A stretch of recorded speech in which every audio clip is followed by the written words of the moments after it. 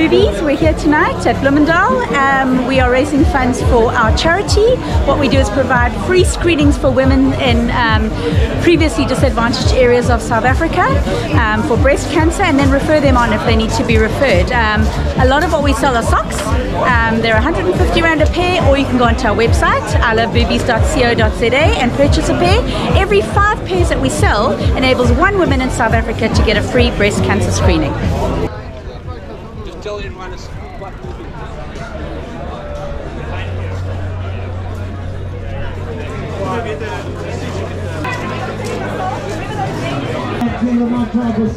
They'll be your friends.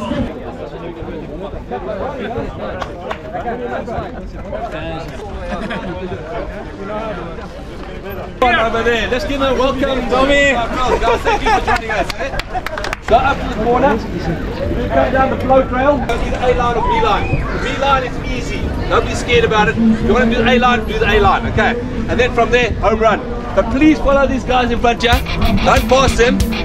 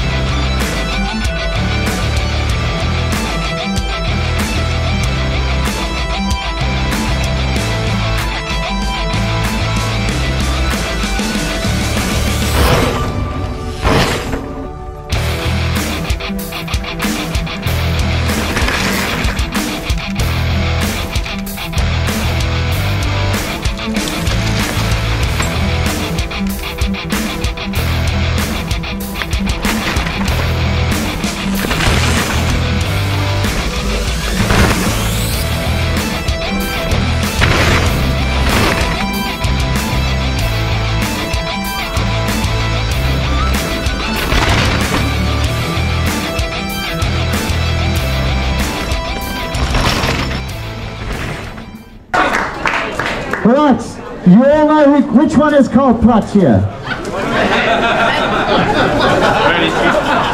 Trivia. Well, Tomi, do you want to tell them how many titles you have won in your lifetime? Well, exactly, I don't know, but for Spanish championships, I have 14, 14, uh, two European championships, uh, I think three world championships, and some World Cups also. I must tell you guys, Tomi was my hero when I was 16, and he, when I was 16, and he was winning already downhill World Cup.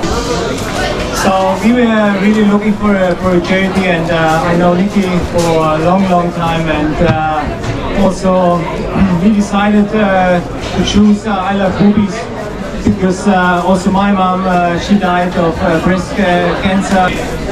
It's very, very important to give uh, a woman the chance who doesn't have the money to have a screening before the time and uh, to support these guys. Yeah, very, very important. And that's why we're writing for other boobies.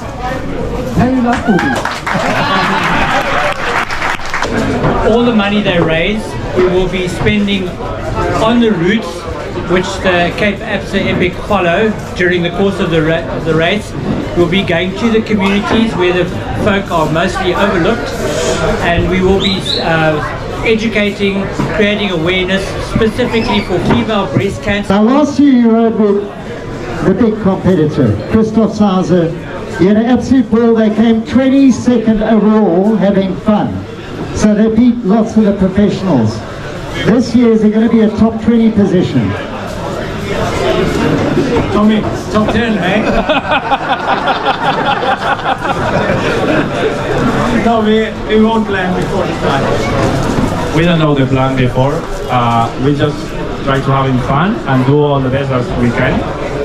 But we spoke uh, sometimes with, with Karl that when you are professional and you have the experience that we have right now, both, it's more easy maybe to come back and ser professional again, you know, because we take the, the things and maybe prepare different, you know, approach the situations or the races different with all this experience, and that's uh, I think it's uh, it's why with our age, we enjoy it and have uh, good results too. Hey guys, thank you very much. It was a uh, really a great, uh, great pleasure to be here and ride with you guys.